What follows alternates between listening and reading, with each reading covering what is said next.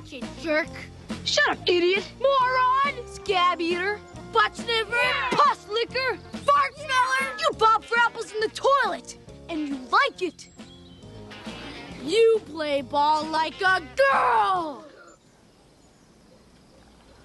As any guy who spent any time at all in the jock universe will tell you, from childhood forward, two great fears keep boys and men in line.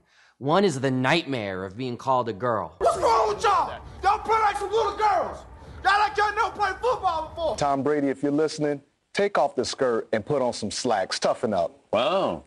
And beyond this kind of sexism, the second great fear that binds the jockocracy together is homophobia. Even though we, we may think it's not a big deal in our society, the reality is there's still a lot of homophobia that exists. In sports, it's about a macho of an environment as we have to offer in American culture. Like sexism, homophobia is everywhere in sports. So you have someone like John Smoltz, future Hall of Fame pitcher, who compared gay marriage to bestiality by saying, What's next? Marrying an animal?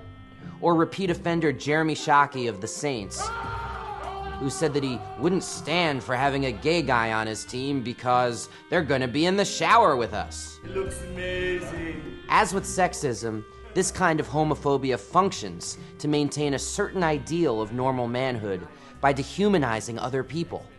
And in the process, it keeps gay athletes in the closet.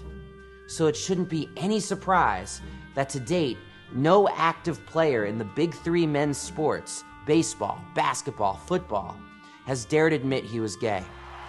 John Amaechi played for seven seasons in the National Basketball Association.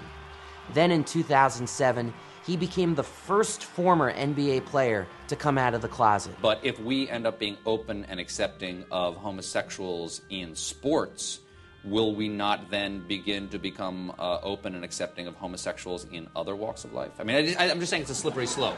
Uh, You'll admit it's a slippery slope. I'm hoping it's a very slippery slope. Okay. Yes.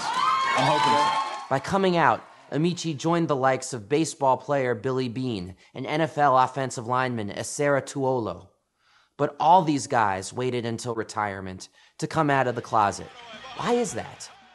Well, let's consider how former NBA All Star Tim Hardaway responded to Amaechi's announcement.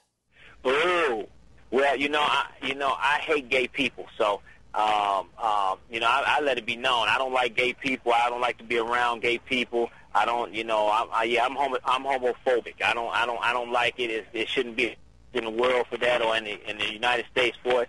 So yeah, I, I don't like it. The point again is that sports culture is shot through with political meaning and struggle. And unless we're content to stay quiet in the face of bullying, we should make it our goal to speak up and try to change things when sports culture reinforces backward political attitudes that hurt people for no good reason.